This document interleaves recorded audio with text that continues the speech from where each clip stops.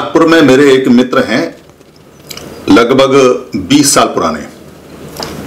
और बहुत अच्छे मित्र हैं, अब तो बहुत अच्छा काम कर रहे हैं, बहुत ज़्यादा पढ़े लिखे भी हैं। और बाबा साहब, डॉक्टर अंबेडकर की उन्होंने पूरी रिसर्च उन्होंने की है, किताबें भी लिखी हैं, संगठन भी अच्छा चलाते हैं। वाइज मैन है, बुद्धिमान है, शांत है, अच्छे हैं, और चीज़ों को कैसे रखना चाहिए उनको पता होता है। मेरी बातचीत उनसे हो रही थी। तो बातचीत में एक बीच में बात आई जिसमें ये पता चला कि कई लोग उनकी इस बात के लिए आलोचना करते हैं। वो कहते हैं कि ये आदमी अभिमानी हो गया है और ये आदमी अपने आप को डॉक्टर अंबेडकर से भी आगे मानता है। इस बात का उन्हें बड़ा कष्ट था, बड़ी परेशानी थी कि लोग इस तरह से आलोचना करते हैं। दरअसल मुझे इसमें कोई आलोचना दिखाई तो दी नहीं और ना इसमें कोई आलोचना है, क्योंकि ये तो बहुत अच्छी बात है। ये इतनी शानदार बात है। अगर कोई मुझसे कहे कि भाई आप तो डॉक्टर अंबेडकर से भी आगे बढ़ गए, आप तो कबीर से भी आगे बढ़ गए, आप तो बुद्ध से भी आगे बढ़ गए, आप तो जो संत पुरुष हैं उनसे आगे बढ़ गए या अपने पिता से आगे बढ़ गए तो मेरे लिए गर्व की बात है। दरअसल मेरे पिता के लिए भी गर्व की बात है, डॉक्टर अंबेडकर के लिए भी गर्व की बात है, भगवान बुद्ध के लिए भी गर्व की बात है, कबीर साहब के लिए भी गर्व की बात है कि उनका बेटा उनसे आगे निकल गया। एक बाप क्या चाहता है? एक गुरु क्या चाहता है? एक अच्छा और सच्चा गुरु और बाप हमेशा चाहता है कि उसका शिष्य और उसका बेटा उससे आगे निकलना चाहिए। और उसके जीते जी निकले तो ज़्यादा अच्छा है। मरने के बाद तो उसने क्या देखा, क्या नहीं देखा तो खत्म होगी काया। और जीते जी अगर आगे निकल जाए तो उस बाप की जो छाती होती है, जो उसकी चेस्ट होती है, वो डबल हो जाती है। उसका सीना गर्भ से बुढ़ापे में दमकता है। उसकी चाल बदल जाती है, जिसका बेटा उससे आगे निकल जाए या जिसकी बेटी उससे आगे निकल जाए, जिसके बच्चे उससे आगे निकल जाए। तो मैंने कहा, भाई, ये तो बहुत अच्छी बात है कि लोग आपको कॉम्प्लीमेंट देते हैं। तो कहते कि, नहीं, यहाँ निगेटिव बात समझते हैं। यहाँ कहते हैं कि अभिमान वाली बात है, गर्व वाली बात है। अरे, वो मूर्ख लोग हैं जो ऐसा गर्व करते हैं, अभिमान करते हैं, वो निगेटिव लोग हैं। वो खुद तो बाबा साहब से आगे जा नहीं सकते, खुद तो पढ़ नहीं सकते, खुद तो कोशिश कर नहीं सकते। तो औरों की टांग पड़ के खींचते हैं।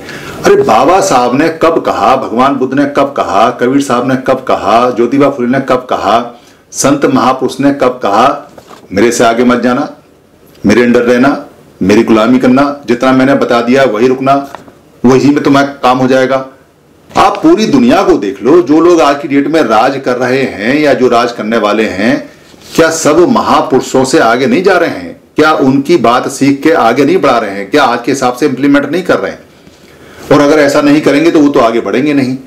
साइंस जो लोग पढ़ते हैं, जिस गुरु की साइंस पढ़ते हैं, जैसे आइंस्टाइन की साइंस किसी ने पढ़ी कि भाई आइंस्टाइन ने एक थ्योरी दी है तो बस वहीं रुक जाए क्या साइंटिस्ट? फिर उससे आगे डिस्कवर नहीं करेगा तो इससे आगे डिस्कवर नहीं करेगा तो कुछ होगा ही नहीं।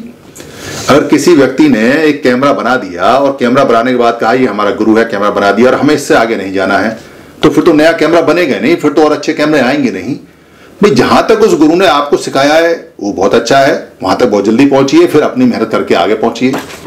तो जो लोग डॉक्टर अंबेडकर पर रिसर्च करके उससे आगे बढ़ रहे हैं, या जो भगवान बुद्ध की रिसर्च कर रहे हैं, या जो ज्योतिबा फुले की रिसर्च कर रहे हैं, या कुछ नया कंसेप्ट लेके आ रहे हैं, या कोई नई बात बता के आ रहे हैं तो अपने बाप का काम कर रहे हैं, अपने दादा का काम कर रहे हैं, अपने बाप और अपने दादा का नाम रोशन कर रहे हैं, अपने देश का नाम रोशन कर रहे हैं।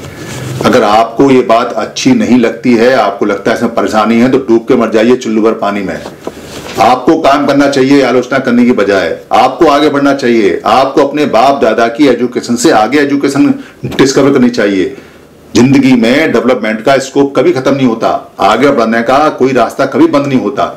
जो व्यक्ति ये सोचता है कि महापुरुष ने ये बता दिया, रास्ता बंद है, वो महापुरुष का कत्ल करता है, महापुरुष को मारता है, उसका अनुयायी नहीं है। वो महापुरुष को जानता नहीं है, पहचानता नहीं है। जो सच्चा महापुरुष होगा, जो सच्चा संत होगा, वो हमेशा कहता है, चलते रहना, रुकना मत, आगे जाना। जब वो कहता है, आगे जाना तो किससे आगे जाना? वो कहता है, मुझसे आगे जाना, बहुत आगे जाना, क्योंकि तभी तो जीतोगे, तभी तो कुछ चीज़ चीज़ मिलेगी।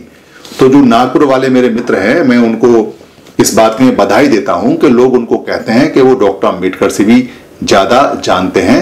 उनको जानना चाहिए, ना केवल जानना चाहिए, उनको डॉक्टर अंबेडकर से आगे के दसियों हज़ार लोगों को पैदा भी करना चाहिए। जैसे डॉक्टर अंबेडकर ने आपको पैदा किया, वैसे ही आपको दसियों हज़ार लोग पैदा करने चाहिए। तब कुछ बन सकता है आपका। अदरवाइज़ आप भूल जाइए, क्योंकि जहाँ संत, जहाँ लड़ाई हार जाते हैं, वहाँ से उनके अनुयायी उनको आगे रख के और आगे जाके लड़ाई को जीत के लाते हैं। जो संत को सर पे घुमा के कहते हैं कि मेरा संत मेरा संत, बस यही संत है और यही अंत है। उनका अंत उसी में हो जाता है, फिर संत भी उनका कुछ नहीं कर सकता। उनका अंत संत के साथ निश्चित है, इसलिए संत से आगे जाना पड़ेगा, महापुरुष से आगे जाना पड़ेगा। बाबा साहब को सारा पढ़ डालिए तो बाबा साहब खत्म हो जाते हैं, फिर आप स्टार्ट हो जाइए बाबा साहब से आगे। बाबा साहब का जो पढ़ा लिखा है उसी में मत घूमिए। जो बुद्ध ने बताया है, वो बहुत मिक्स हो चुका है। बहुत उसमें डामाडोल मामला है, वो बहुत निकालना पड़ेगा। जो ज्योतिबा फुले ने किया है, वो प्योर है तो उसको निकालना पड़ेगा। जो कबीर साहब का है, उसमें घालमेल हुआ है तो उसको ठीक करना पड़ेगा। आप अपने आप को उनका बेटा मानते हैं तो ज़िम्मेदारी आपकी है, आपकी बेटे की, आपको आगे निकलना है बाप से। धन्यवाद। टीम 22 पर सभी वीडियो बुक कॉपीराइट फ्री है। आप अपने पोर्टल पर अपने यूट्यूब पर, अपने फेसबुक पर या किसी भी, जो भी ऐप है, उस पर आप यहाँ से डाउनलोड कर कर टीम 22 से या फेसबुक से या मेरे पेज से कहीं से भी कोई भी वीडियो ले सकते हैं, उसको डाउनलोड कर सकते हैं, उसमें अपने नाम का कुछ भी ऐड कर सकते हैं या अपनी कमेंट्री कर सकते हैं। उस वीडियो का कोई भी पार्ट आप ले सकते हैं, उसका प्रिंट मटेरियल भी बना सकते हैं, उसको किसी भी भाषा में आप बदल सकते हैं उसका ऑडियो चेंज कर सकते हैं, उसका वीडियो ले सकते हैं। आप जैसे भी चाहें टीम 22 की किसी भी वीडियो का या सारी वीडियो का इस्तेमाल कर सकते हैं। ये हमेशा कॉपीराइट फ्री थी और हमेशा कॉपीराइट फ्री रहेंगी। हमारा सिर्फ़ इतना काम होता है कि महापुरुषों की जो बातें हैं, उन बातों को हम सरल भाषा में, आम भाषा में आप तक पहुँचा देते हैं।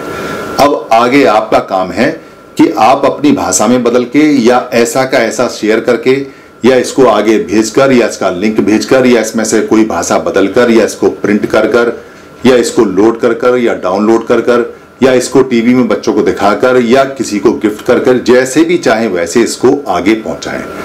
धम्म की सेवा सबसे बड़ी सेवा है, क्योंकि धम्म दान, धम्म को देना, सभी देने में, यानी जितना भी हम किसी को देते हैं, दान देते हैं, उनमें सबसे बड़ा माना जाता है। अगर आपको लगता है किसी वीडियो में कोई परेशानी है तो आप हमें लिख के भेज दीजिए, हम दूसरा वीडियो बनाकर आपको भेज देंगे।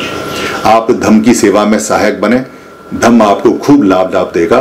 धम आपको लाभ देगा, आप धम को लाभ देंगे, ये दोनों इंटरचेंज है, यही धम की प्राकृतिक नियम है। धन्यवाद। सङ्गं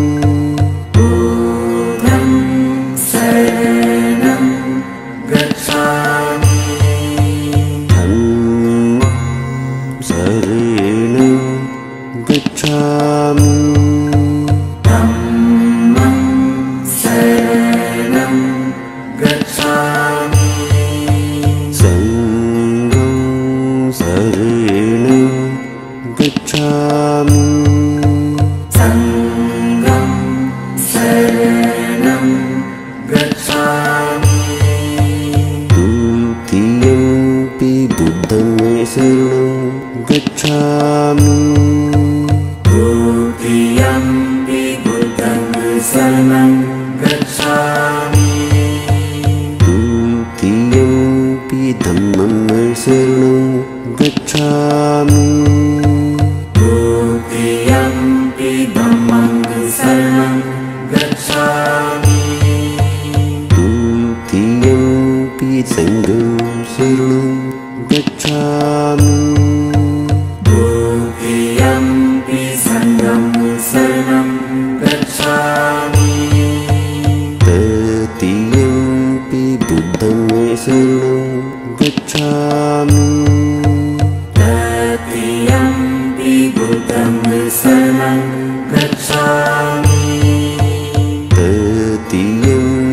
തമ്മമ്മൾ സേവനം